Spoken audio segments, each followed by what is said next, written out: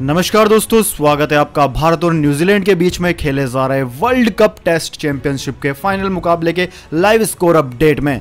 जी हाँ दोस्तों, भारत और न्यूजीलैंड के बीच आज वर्ल्ड टेस्ट चैंपियनशिप का फाइनल मुकाबला साउथहैम्पटन में खेला जा रहा है। पहला दिन बारिश से धुलने के बाद दूसरे दिन टॉस हुआ। न्यूजीलैंड टीम ने टॉस जीतकर पहले बॉलिंग करने का फैसला किया है।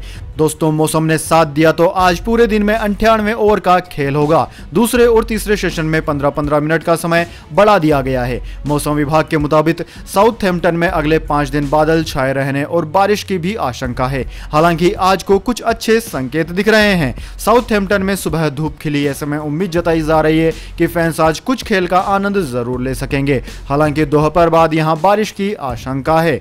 सुनील गावस्कर के मुताबिक पिच पर घास कम है, ऐसे में यहाँ शुरुआत में तेज गेंदबाजों को मदद मिल सकती है। पहले बॉलिंग करने वाली टीम शुरुआत में जल्दी विकेट लेकर फ़ायदा लेना चाहेगी।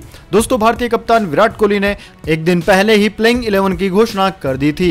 टीम द जीजेस बाउल मैदान पर दो स्पिनर्स और तीन पेसर्स के साथ भारतीय टीम उतरेगी। अश्विन और जडेजा स्पिन डिपार्टमेंट संभालेंगे। वहीं जसप्रीत बुमराह, मोहम्मद समी और ईशांत शर्मा पर पेश बॉलिंग की ज़िम्मेदारी होगी। रोहित शर्मा और शुभमन गिल ओपनिंग करेंगे। वहीं मिडिल ऑर्डर में कप्तान कोहली के अलावा चेतेश्वर पुजारा अजिंक्य रहाणे और विकेट कीपर बल्लेबाज ऋषभ पंत रहेंगे।